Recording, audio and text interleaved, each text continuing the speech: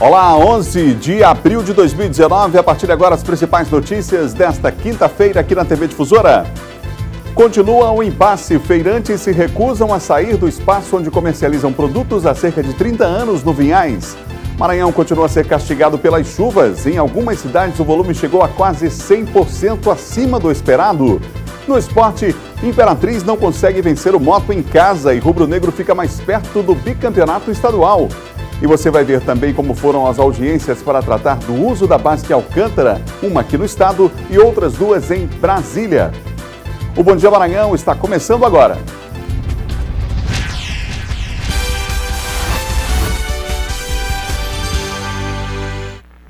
Uma excelente quinta-feira para você que nos acompanha em todo o estado aqui pela TV Difusora. A nossa equipe está reunida, preparada para levar o melhor da informação para você. Estamos começando o Bom Dia Maranhão desta quinta-feira. Para você, um ótimo dia. Você na capital, você no interior do estado, os amigos aí em Imperatriz, na segunda maior cidade do estado. Já já tem a participação do Luiz Carlos Lima. Vamos falar do impacto das chuvas, por exemplo, no cinturão verde ali da cidade. O impacto já é muito grande, chuva muito forte. A chuva é importante, a gente sabe, para a agricultura, para o pequeno produtor, mas a chuva em excesso ela traz prejuízos. É isso que está acontecendo lá na região Tocantina, mais especificamente em Imperatriz. Daqui a pouquinho a gente vai mostrar, o Luiz Carlos Lima vai trazer detalhes para você dessa situação. Claro que a gente vai falar também do jogo de ontem entre Imperatriz e Moto Clube. O público não foi aquele esperado lá no estádio Frei Epifânio da Badia, mas tivemos aí um bom público no estádio. É, os ingressos foram majorados, aumentaram o preço dos ingressos também. Isso prejudicou um pouco a presença de público ontem e o Imperatriz ficou no 0 a 0 com o Moto Clube. Portanto, o Moto joga em casa, tem a vantagem aí adquirida pela melhor campanha, está perto de, do tão sonhado bicampeonato estadual, mas claro que a gente está falando de futebol, tudo pode acontecer. Evidentemente que a final está aberta aí. O jogo acontece sábado às 5 horas da tarde aqui em São Luís do Maranhão. Mas a gente começa o Bom Dia de hoje falando da questão da Feirinha do Vinhais. Com medo de perder a clientela, os feirantes não aceitaram a mudança de local e, depois de um acordo, continuaram a ocupar uma área próxima ao local onde trabalham a, comercializando produtos há cerca de 30 anos. Com a antiga área ocupada por contêineres, os feirantes tiveram que ficar no meio da avenida principal do bairro. Os feirantes do Vinhais não aceitam a ideia de deixar o local onde trabalham há cerca de 30 anos. Começaram com essa onda deles aí, invadir esse terreno dentro daquela área de lá, que isso aqui tudo era da feira. Uma falta de respeito, né? Porque a gente está trabalhando, a gente não está pedindo para ninguém. A gente só queria a compreensão de todos para ajudar a gente, né? A permanecer no local. Já são mais de 30 anos de feira, então a gente não quer perder o local. Eles também temem perder a clientela, caso sejam obrigados a montar a feira na área do Coafuma, como chegou a ser proposto. Lá é bem complicado, porque não tem casas, como aqui é um bairro, entendeu? É um bairro fechado, lá é condomínio, é, à noite é, é extremamente parado. Todos os clientes que estão, a gente está falando aqui, estão tá reclamando que não vai para lá. Todos os nossos clientes que tem aqui não vai nenhum para lá. Na manhã desta quarta-feira, um protesto chegou a bloquear a via, pedindo soluções. Eles defendem que a área que eles ocupavam não pertence à pessoa que se apresentou como dona. Tenho aqui em minhas mãos um parecer técnico da prefeitura mostrando que isso aqui é uma área institucional. Conjunto Vinhais, área chamada pela IMARP de Coab 15. Essa área é considerada pela prefeitura de uma área não edificante. Então é uma área que não pode ser edificada é, public, é, privadamente. Os feirantes estão 30 anos neste local, né? E uma pessoa se acha dono do posto, do espaço, apresentou documentos, não é isso? E está na justiça. O juiz titular da Vara de Interesses Difusos e Coletivos se manifestou sobre o caso. Disse que, por enquanto, não pode tomar nenhuma decisão. Quando um processo for proposto, se for proposto para tratar desse assunto da feira, aí sim eu vou estabelecer um contraditório, mandar citar, intimar quem seja quem precise responder algo sobre esse assunto e ao final darei uma decisão. Por enquanto, o que eu posso dizer é que não existe processo judicial tratando da Feira do Vinhais. Em meio à polêmica, a tradicional feirinha continua cheia e os clientes também não concordam com a retirada dela da região. Vai fazer muita falta para a comunidade em geral. Porque, assim, muita gente como eu que sai do trabalho já tarde da noite, aproveita, encosta aqui na passagem de casa, acho que vai fazer uma falta muito grande. Eu sou contra tirar o pessoal daqui da, do, da feirinha mesmo. Tem que continuar a feirinha mesmo do bairro, porque a feirinha do, vinha, do Vinhais já é tradição já aqui. Deve continuar. Essa questão da feira, vale lembrar que essa semana houve uma reunião com a comissão aí de vereadores, junto ao próprio juiz Douglas Martins, ainda não há um processo Há uma, houve um indicativo ali do colegiado de uma proposta de uma ação coletiva, não é? Se isso de fato acontecer, lógico que vão levantar informações aí é, junto ao próprio cartório para saber de fato de, a quem pertence essa área, enfim. Esse caso vai continuar, por enquanto os feirantes não aceitaram sair para aquele local proposto, inclusive ali no bairro do Coafuma, para uma situação aí, é, enquanto seja definida uma situação final desse caso. Mas eles não aceitaram, claro que cada um está fazendo a sua parte, eles têm um direito, né? Eh, de reivindicar aí, já trabalham na área há mais de três décadas. Vamos ver o que a Justiça vai determinar em relação a essa situação. O ministro do Desenvolvimento prometeu à Federação dos Municípios do Estado do Maranhão auxílio para mais de 140 mil desabrigados pelas enchentes no estado. Pelo menos 38 municípios estão em estado de emergência e alguns já estão habilitados para receber recursos do governo federal. A situação nos municípios de Imperatriz, Alto Alegre do Pindaré, Araguanã e Santa Helena foi classificada como de emergência pelo Ministério do Desenvolvimento Regional. Os municípios Boa Vista do Gurupi, Formosa da Serra Negra, Timon e Santo Amaro também podem receber recursos federais por causa dos danos causados pelos temporais.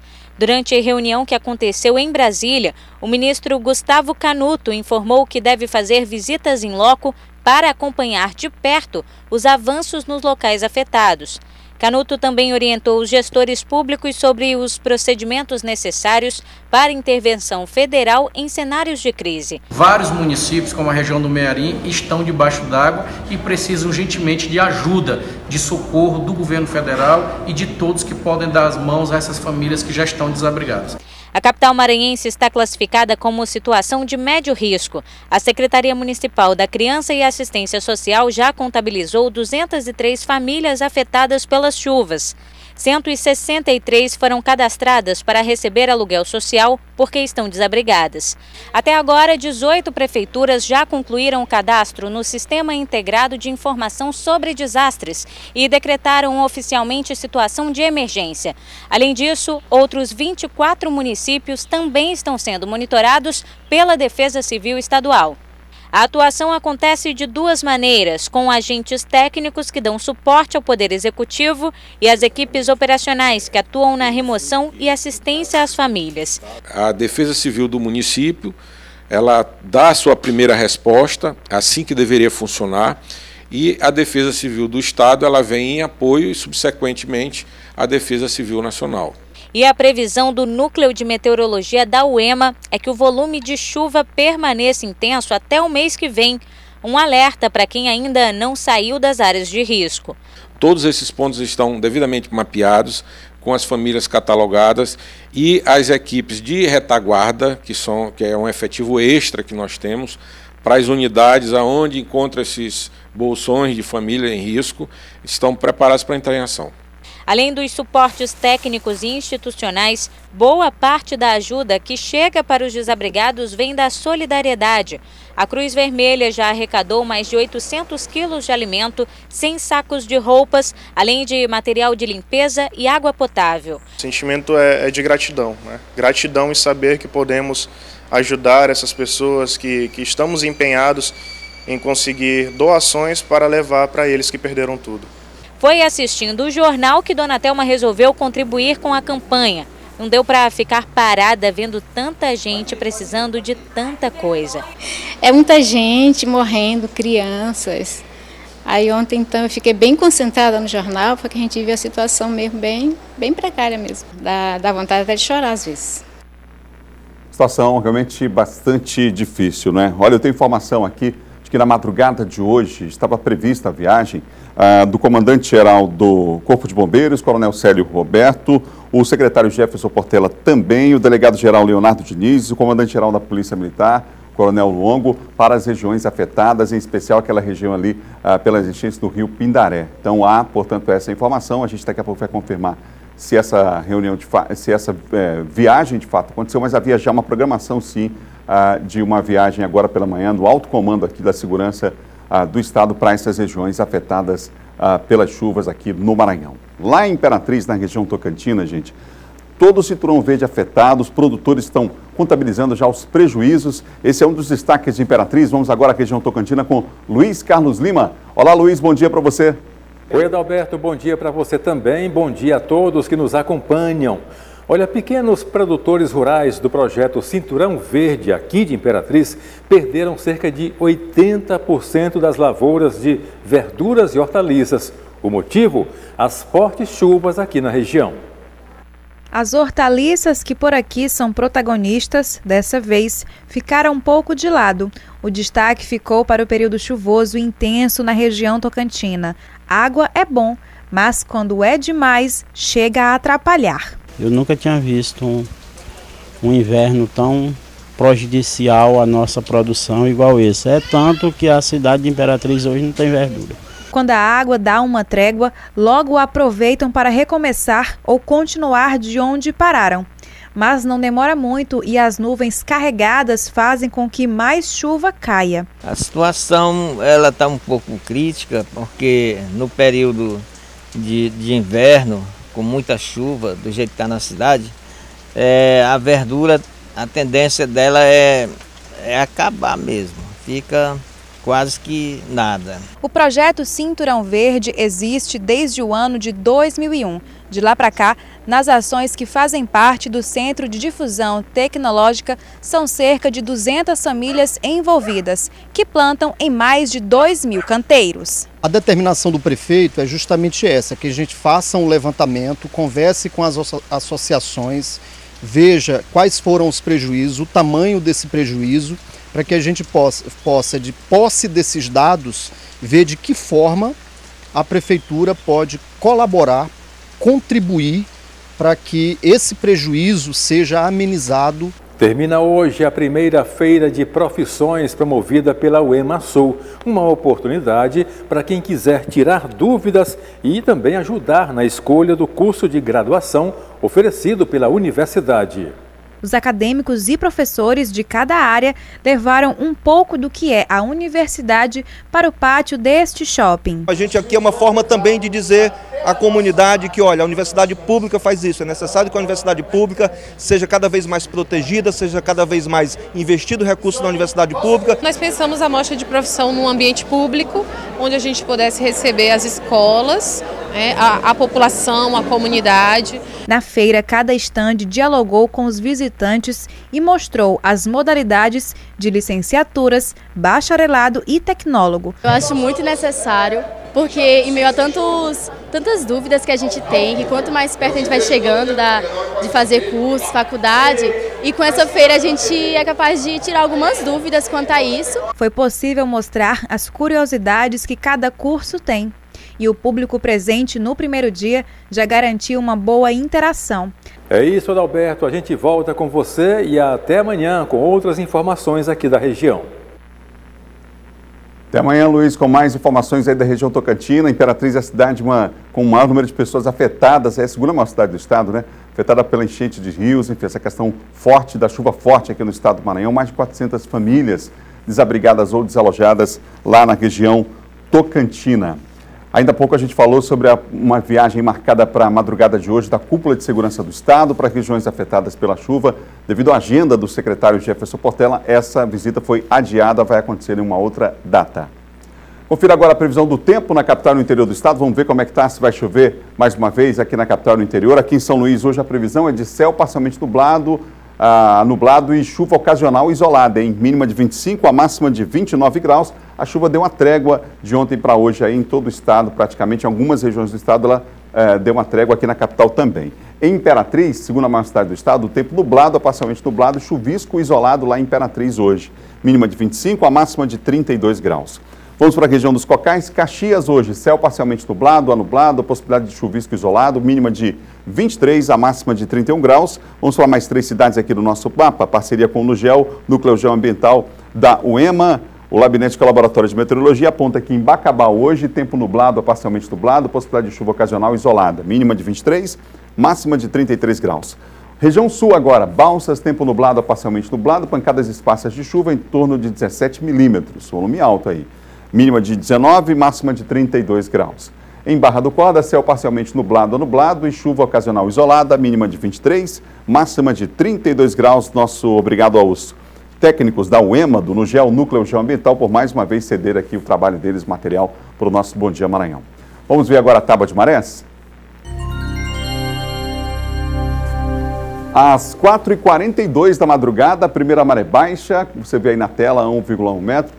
Às 10h43, maré alta, 5,3 metros. Às 17 horas e mais 19 minutos, maré baixa, 0,8 metros. E às 23 horas e 27 minutos, nova maré alta, 4,8 metros. No próximo bloco, o Silvão Alves faz um balanço da área de segurança com destaque para a continuação da Operação Alvo Certo, aquela de combate a facções criminosas. E você vai ver também aqui no programa, vamos falar das audiências que foram, aconteceram ontem aqui no Maranhão e em Brasília sobre o uso da base de Alcântara. Assunto para o Bom Dia depois do intervalo, são 7 horas e mais 20 minutos. Imagem ao vivo nesse momento da Avenida dos Franceses na capital maranhense. O Bom Dia volta já já.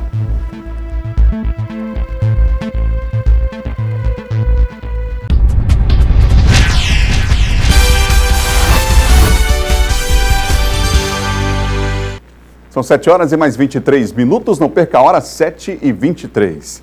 Vamos continuar no interior do estado com a informação. Em Caxias, a onda de solidariedade vai além, inclusive, da ajuda às pessoas atingidas pelo período chuvoso, que a gente já mostrou aqui em várias localidades, né? Por lá, a Guarda Municipal faz um trabalho social, em especial nesses dias que antecedem a Semana Santa. Vamos ver.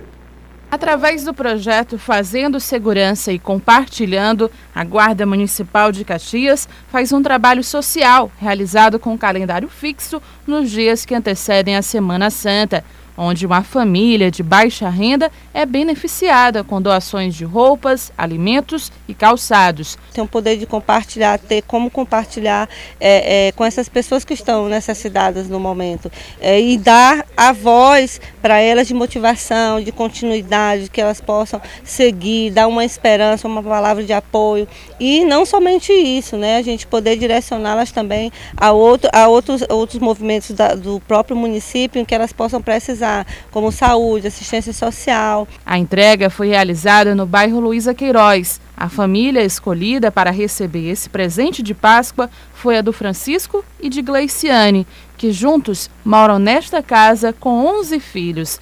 Para eles, foi uma surpresa muito bem-vinda.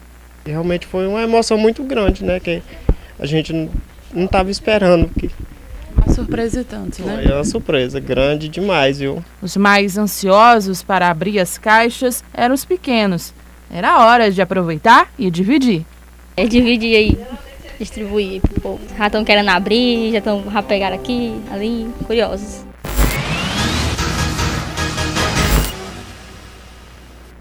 Participação agora aqui no Bom Dia é de Silvan Alves. Vamos conversar com ele que terminou agora há pouco a apresentação do Bandeira 2. Olá, Silvan, bom dia para você. Bom dia, Adalberto. Bom dia a todos. Silvan, aquela operação é, da polícia Alvo Certo aconteceu ontem uma segunda etapa, né? Estava vendo um balanço, já são mais de 50 pessoas presas esse ano, Silvan, ligadas a facções criminosas? Exatamente, um trabalho feito, que é uma investigação é, contínua, feita aí pela Superintendência Estadual de Investigações Criminais e que é, acabou resultando, só essa semana foram é, mais de 20 pessoas presas com a operação que foi deflagrada na terça-feira, que foi considerada mesmo a, a, primeira etapa da Operação Alvo Certo, que resultou na prisão daquelas é, 10 pessoas, foram 23 mandados é, que foram executados aí pela, pela polícia, pela polícia civil, né, cumprimento de mandado de prisão e busca e, e, apreensão. E agora o que chama a atenção, Alberto, é que a maioria dos mandados ontem expedidos, no caso foram seis mandados, eles foram cumpridos lá dentro do complexo penitenciário São Luís, ou seja, pelo menos cinco das pessoas que foram é, tiveram as prisões decretadas agora nessa segunda etapa da operação Alvo Certo, elas estão custodiadas lá no complexo penitenciário São Luís. São é, é, é, detentos que seriam é, torre, entre aspas, como eles chamam, de, de, de, facção criminosa, e a esposa de um desses detentos que estava lá no momento é, da prisão, ela estava fazendo visita ao marido e acabou é, sendo presa também. Isso aí é uma, uma, uma, investigação muito complexa, você sabe que essa semana também a, a, polícia fez busca e apreensão nos escritórios de pelo menos três advogadas que estão sendo investigadas aí por suposto envolvimento aí com essa facção criminosa, onde foram é, apreendidos computadores, notebooks, é, documentos, onde, é, é, segundo a polícia, elas estariam trabalhando, inclusive, com, pelo conhecimento jurídico, na elaboração do novo estatuto dessa é, organização criminosa. Essa, é, essa conexão é, que resultou na decretação da prisão desses presos é que elas, elas seriam o, o canal de ligação é, dessas lideranças, dessas facções criminosas que estão na cadeia, em trazer uh, as determinações aqui fora, para que pessoas fossem executadas, crimes fossem praticados e etc. Por isso a razão desses mandatos terem sido cumpridos lá dentro da cadeia. Silvão, vamos falar de outro assunto agora, porque lá em Santo Antônio dos Lopes, um crime bárbaro chamou a atenção. O filho ah, teria está sendo acusado de matar a própria mãe, Silvão.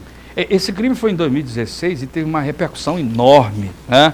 é, onde a, a, a vítima foi a, assassinada.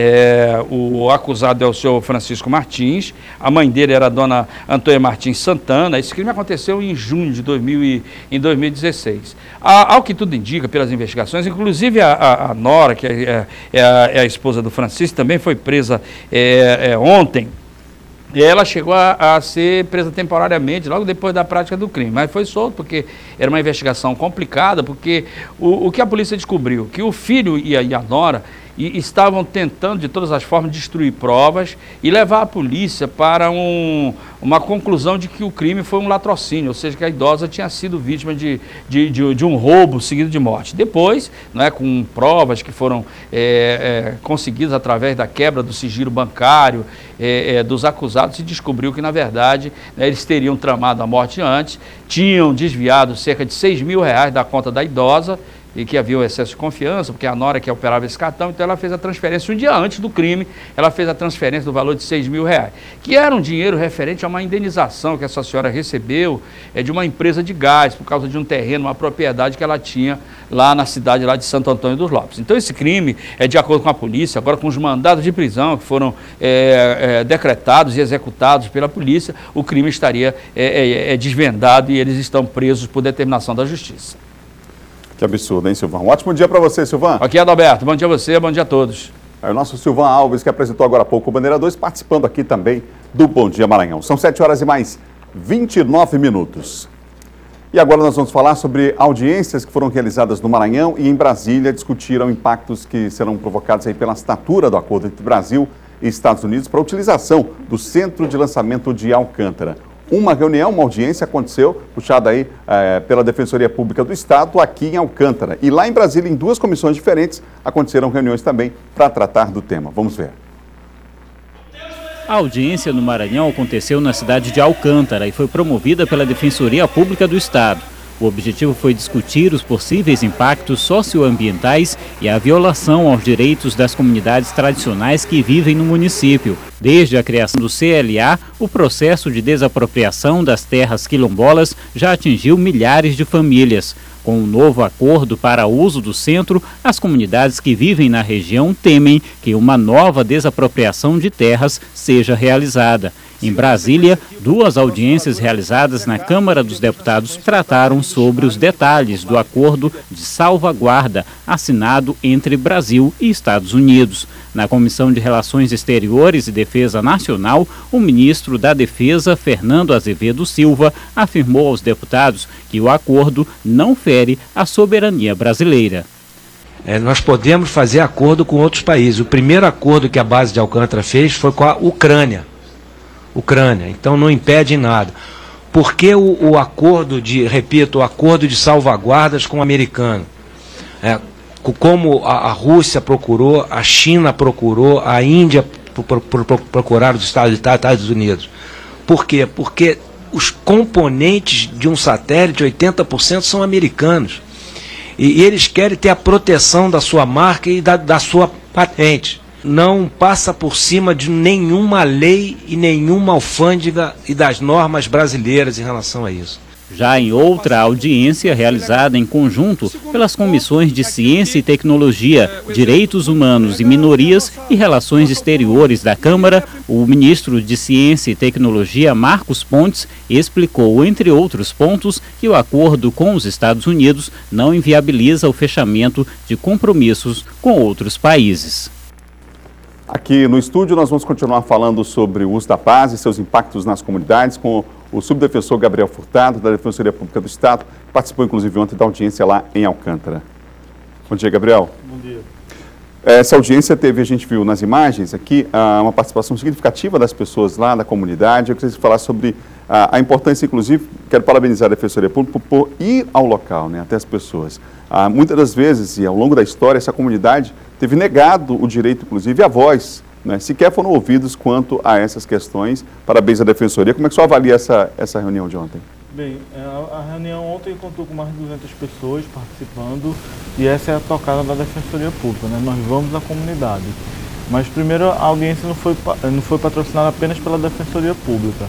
Foi um pedido do Sindicato dos Trabalhadores Rurais de Alcântara, né, presidido pelo Marcos, e também por lideranças locais, como o Danilo e outras lideranças locais, também que contou com a participação da Prefeitura, do Poder Legislativo local.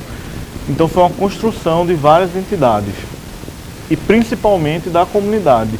E lá nós fomos para ouvir o apelo popular, porque uma coisa que nos incomoda muito é que se fala muito da base, se fala muito do povo de Alcântara, mas não se fala com o povo de Alcântara. Então primeiro a gente tem que ouvir o povo de Alcântara, tem que, tem que ouvir o, apelo dele, os, as requisições dele. E foi isso que nós fomos ouvir. Nós estamos redigindo uma ata dessa, dessa audiência pública e o, o primeiro encaminhamento que foi feito dessa audiência pública foi uma carta de requisições, né, de implementações de políticas públicas para o povo de Alcântara, que será direcionada para os poderes públicos, executivos, municipal, estadual e federal, para que seja ouvido o pleito, o, o primeiro pleito do povo de Alcântara. Né? Nós estamos conversando aqui no Bom Dia Maranhão de hoje com o defensor público do Estado do Maranhão, o Gabriel Furtado, falando sobre essa audiência que aconteceu ontem lá na cidade de Alcântara, tratando, claro, sobre o uso da base. Ah, daquilo que o senhor ouviu dos moradores lá, o que mais lhe tocou nesses depoimentos? Eh, o senhor já falou de um primeiro encaminhamento, mas assim, qual é a fala dos moradores em geral quanto à situação atual lá na, no entorno da base? Olha, é, tiveram depoimentos muito tocantes, né, marcantes, de moradores que relataram que passaram fome no, no, nas primeiras é, realocações, é, que não foram ouvidos, que foram tratados como pessoas assim, invisíveis. É, até hoje você vê reflexos disso, você vê reflexos na falta de políticas públicas na área da moradia, na falta de uma política pública mais eficaz na regularização fundiária de acordos que até hoje não são cumpridos na, na, na esfera da Justiça Federal, na questão da, da, área da saúde pública, na questão da área do, da, da, escolarização do transporte escolar, enfim. É, no final das contas, a gente pode vir com o discurso mais bonito que existe. Vocês mesmos já foram em Alcântara. Quando você pisa no território alcantarense, você vê a falta de políticas públicas lá. E é isso que às vezes a gente sente a falta é, nessas audiências públicas, nessas reuniões, falta você pisar lá e ver que o povo, muitas vezes, o que o povo sente, a fome que o povo sente, as necessidades que o povo sente. E foram isso que eles falaram, o que eles sentem, né? Essa fome, essa, essa falta de uma educação de qualidade, essa falta, às vezes, de um, de um posto de saúde, de um, de um transporte, de uma regularização fundiária, de, um, é, de comunidades quilombolas que não têm uma proteção jurídica de sua terra, que não têm acesso ao seu meio de, ao seu meio de vida tradicional. Né? É isso tudo que precisa ser avaliado. E é claro que assim, ninguém é contra o progresso, ninguém é contra o progresso, mas quando você pega um, um documento do Poder Executivo Federal que, que não traz dados concretos do que é que vai trazer para o povo alcantarense, né, de que políticas públicas vão ser efetivamente trazidas para lá, é, fica tudo muito no escuro. E aí é uma crítica que eles mesmos, o popular, que às vezes não sabe nem escrever, faz essa crítica. Eu não fui ouvido. Como é que eu vou opinar para uma coisa que eu não sou ouvido? Como é que eu vou saber o que, é que vai acontecer aqui na minha, na minha terra se eu não for ouvido? Né? E foi isso que eles foram trazer lá. Às vezes é um, é um é um conhecimento popular tão básico que, que bastava ir lá ouvir. E aí foi por isso que a gente foi lá, foi por, por isso que a gente tomar qualquer atitude, a Defensoria primeiro pisou em Alcântara para ouvir. Nós já temos, inclusive, uma denúncia feita à Organização Internacional do Trabalho, a OIT, feita por várias entidades, organizações não governamentais. Nós estamos sendo, agora lá em Alcântara, lá em Mamuna, Dona Maria José, que é uma liderança feminina, aliás, muitas mulheres lideram ali naquela, naquela comunidade de Mamuna eh, esse processo de debate, de discussão, ela está nos assistindo lá agora. Ah, e a gente fica pensando exatamente nisso, quer dizer, erros do passado podem se repetir no presente, né? Ah, já tivemos casos de comunidades que foram eh, retiradas da sua área de produção, de vida, e levadas para as agrovilas. Nós Sim. mostramos aqui por várias vezes no Câmera 4, reportagens nos nossos telejornais também, da situação dessas pessoas nas agrovilas. Ah, ou seja, transferir não vai resolver o problema. Né? Essa transferência, ela, ela, pelo contrário, muitas vezes agrava a situação. Né? Agrava porque você precisa respeitar o modo de vida daquelas pessoas. Né? O modo de vida que a gente pensa que é o ideal para aquelas pessoas, muitas vezes não se adapta à, à realidade. E aí você tem assim profissionais, você tem instituições que estão nesse embate direto de forma assim de muito muito competente. Você tem a, a Defensoria Pública da União, você tem o Ministério Público é, Federal, você tem a própria Sociedade Maranhense de Direitos Humanos que estão à frente dessa luta há já vários anos e que vem mostrando que erros do passado não podem ser repetidos agora. E na medida que você não ouve as comunidades, na medida que você não dá espaço para esse diálogo, é, você só está voltando a trilhar cam esses caminhos. E assim, novamente, ninguém está se colocando contra o progresso. Ninguém está se colocando contra trocar uma base por nada. Não é esse o caminho, não é esse o discurso que está se travando. O discurso que está se travando é, ok, é, vai trazer progresso para a comunidade? Dona Maria, que você conheceu, que você citou, vai ter que, algum progresso para ela, o filho dela vai ter oportunidade de crescimento e desenvolvimento real, ou ele, nada contra a belíssima profissão de ajudante pedreiro, mas o que resta para a população maranhense e alcantarense é virar sempre esse ciclo de pobreza, a, a, nova geração alcantarense vai virar igual a antiga geração alcantarense que teve que se remover aqui para Cambô e para a Liberdade, ou ele vai ter reais oportunidades de desenvolvimento em seu território natal o povo alcantarense vai virar, vão virar médicos, jornalistas, defensores públicos, advogados, juízes em Alcântara e vão desenvolver Alcântara como uma cidade para o futuro. É isso que se pergunta.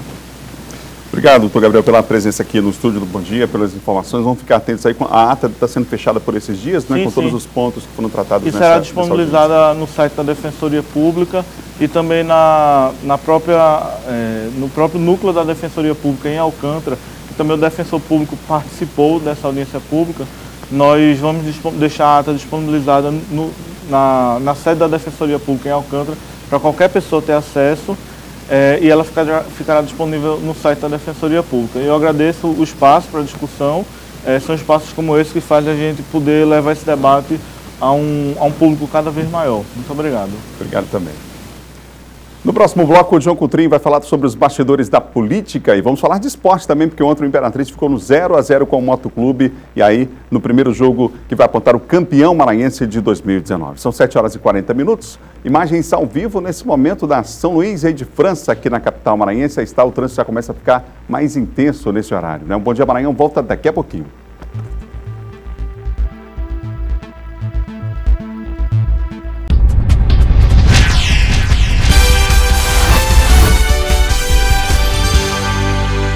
São 7 horas e mais 43 minutos, 7 e 43. Na semana passada, você deve lembrar, o presidente Jair Bolsonaro anunciou o cancelamento de 8 mil radares eletrônicos em rodovias federais. Medida polêmica aí, não é? A juíza Diana Vanderlei, da Quinta Vara Federal em Brasília, determinou agora que a União mantenha os radares e renove contratos sob pena de multa diária de 50 mil reais. Quem tem os detalhes para nós é Eduardo Ericeira. Eduardo, essa notícia, claro, é, a juíza de Brasília deu a declaração, mas repercute no país inteiro, lógico. É isso, Adalberto. Muito bom dia a você, bom dia a todos que acompanham o Bom Dia Maranhão. Foi por meio da Justiça lá do Distrito Federal, por meio de uma determinação de uma juíza lá de Brasília, capital federal, mas vale para todo o país, claro, determina a suspensão aí dessa medida que foi adotada pelo presidente Jair Bolsonaro, foi comunicada também pelo ministro de Infraestrutura, sobre a suspensão da implantação de radares eletrônicos em estradas federais que cortam todo o país e também a suspensão dos contratos com as concessionárias que fazem a instalação desses radares eletrônicos. Por meio dessa decisão judicial, houve a suspensão dessas duas medidas sob pena de multa diária de 50 mil reais em caso de descumprimento. Agora ainda vai haver muita discussão, essa medida é passível aí de é, ser revista dentro da justiça, ela pode é, é, ser revista, pode ser revisada dentro da justiça, pode ser aí recorrida no tribunal aí é, regional federal, é, então ainda vai haver muita discussão, está prevista mais uma audiência pública para o dia 30 deste mês, justamente para discutir o assunto. A gente lembra que essa medida foi alvo de várias críticas aí,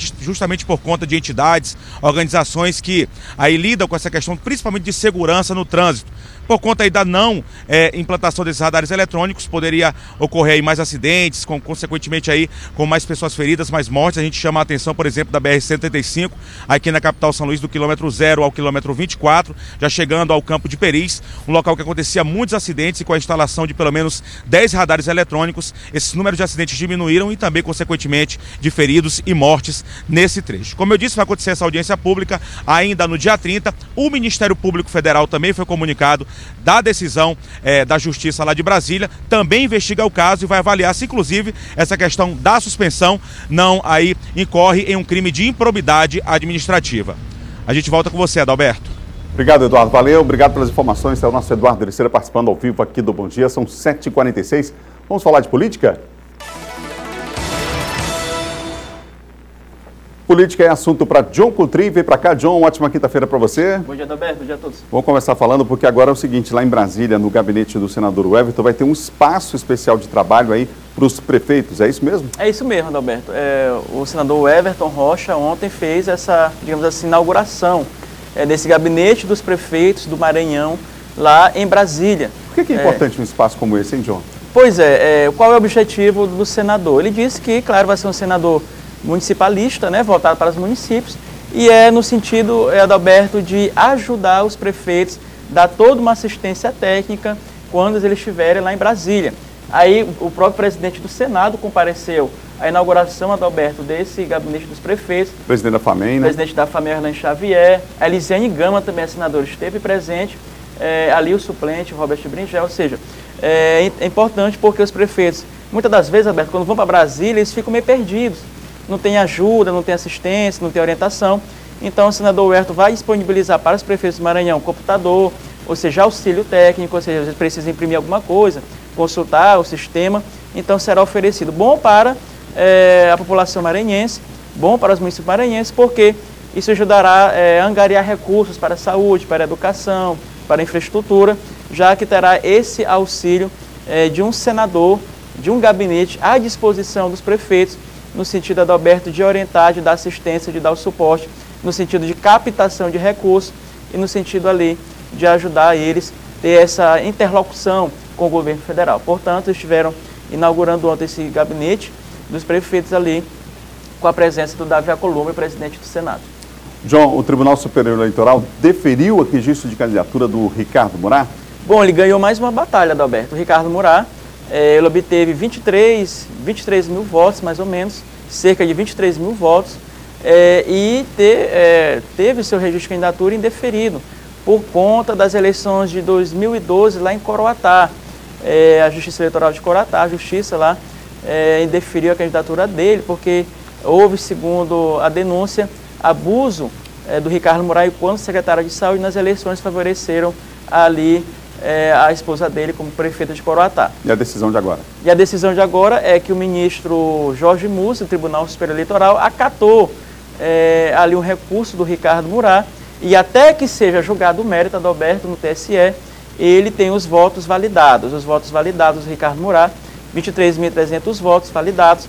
E aí a pergunta que fica, o grande questionamento agora, será para é, os advogados, os juristas, se isso mexe né, na formatação, no contorno dos eleitos. Porque o primeiro suplente é o Vômer Araújo do PSL. Ou seja, validando os votos dele, será se há alguma mudança nos deputados que foram eleitos?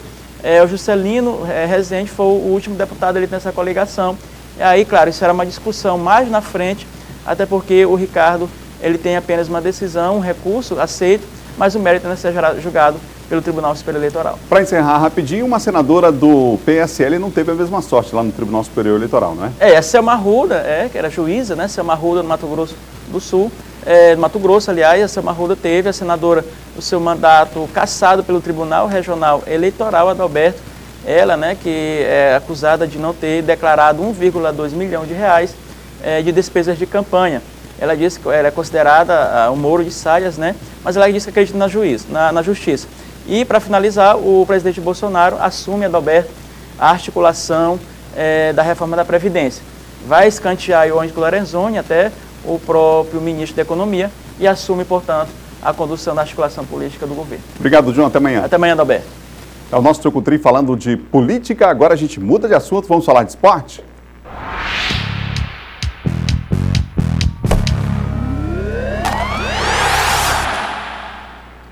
Aconteceu ontem, Imperatriz, a primeira partida da final do Campeonato Maranhense de Futebol e olha, Imperatriz e Moto não saíram do 0 a 0.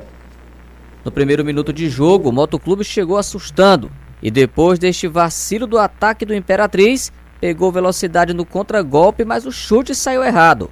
Aí foi a vez do Imperatriz botar pressão neste lance com o chute de fora da área, o rebote e Lucas Campos bota para o fundo da rede, mas o juiz disse que estava impedido. O gol não saía. Um jogo de muitas faltas e cartões amarelos para os dois lados. No intervalo, o torcedor pensativo, não era o que se esperava do primeiro jogo de uma final. Nem um gol, muitas faltas, mas ainda tinha muita bola pela frente.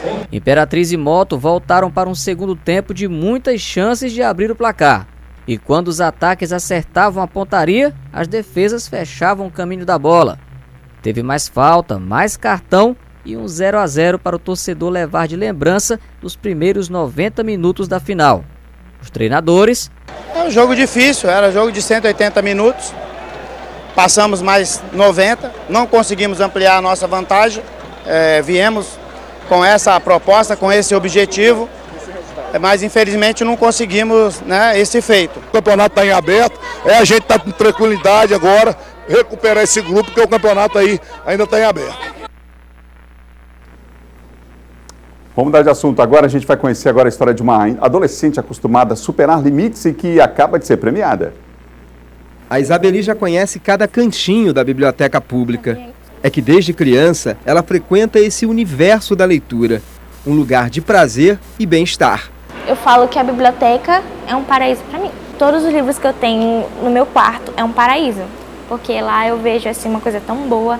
Aqui a dificuldade de locomoção de quem precisa andar numa cadeira de rodas é só um detalhe que não impede de viajar pelos livros. A Isabeli nasceu com artrogripose, uma espécie de atrofia dos membros inferiores. Seria uma limitação para qualquer pessoa, não para a filha do seu Glauber. Foi o pai que, desde o início, educou a filha para enfrentar os desafios mais complicados que aparecessem pela frente. Eu passei um ano pensando como fazer a vida dela ser normal. No ambiente onde ela estava, eu fui fazendo ter acessibilidade para que a locomoção dela se tornasse independente. Foi na primeira escola, foi no curso que ela fez. Foi assim também no mundo dos esportes. As limitações físicas da Isabeli viraram um incentivo para alcançar novos desafios. Natação, corrida, kitesurf.